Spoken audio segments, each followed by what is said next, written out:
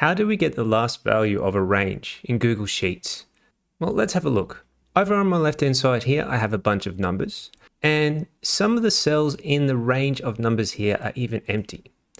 We need to find a way to be able to get this last value and display it in this cell here.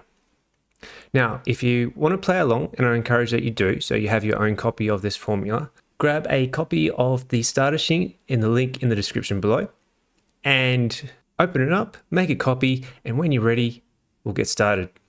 Okay, back. Cool, so you'll find in your starter sheet up the top hand side we'll have a NA, and that's just to display the formula text that you are about to generate in cell B3. Now, this formula is a compound formula, so it's going to take a couple of functions to build it all together. So let's break it down first. First thing we need to do is to be able to get a list of all the values that are present and make sure the cell is either blank or it's not blank. So the first thing we need to do is basically get a matching range or list of all the items in this range that have a value in it. And we can do this with the is blank function here. So if I just type in equals is blank and this reference this cell here, you can see that this one is blank is false.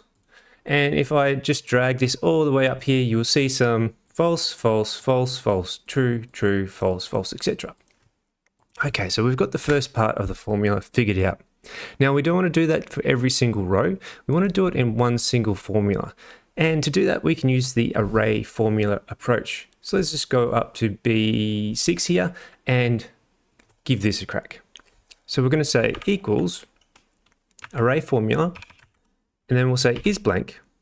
And then we're going to actually select the entire range. So we could select the entire range all the way down to the end of our column here, which for us is 40. Now I want to say if it is blank, then we want to identify it as true. So if is blank is uh, not equal to false, then we want to report it. So I'll just flip things around a bit for us. So we'll hit enter. So now we've got our list of is true or false here. And you'll notice it's also expanded out our list, but that's okay. Now the last thing we need to do is use a lookup function here. And this particular lookup function is a relatively new one for Google Sheets, and it's called the XLOOKUP function. And it allows you to look up corresponding data horizontally or vertically, and it's basically VLOOKUP or XLOOKUP with superpowers. So let's give it a crack. All right, so let's go into our target cell here, this B3, and we want to reveal this 2 up here. So the first thing we need to do is go equals XLOOKUP, and we need to find our search key. Now our search key is going to be true.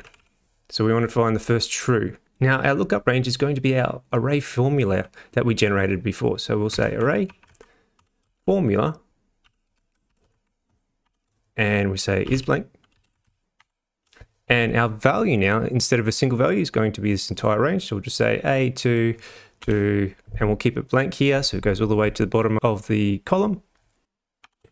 And we'll say if that does not equal true, then we're good to go. So let's close the array formula. So our search key is true. So we're looking for any item now with our array formula that is not blank, basically. So is not blank is true. So that's going to be anything from 2 through, 2 through to 10, 13 to 15, or 17. Now, here's where XLOOKUP is super cool. Okay, next we have our results range.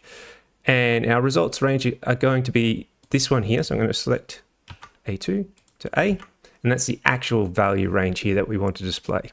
And then we want missing values. So how do we want to display missing values? Well, we don't really, do we? So we're just going to keep that blank. So you can put in double quotation marks, or you can put in the next comma, which we'll do. Now our match mode here. So let's scroll down and see what match mode says. How to find a match for the search key. Zero for an exact match. Yes, we want true or false, so zero for our exact match. Then lastly, search mode.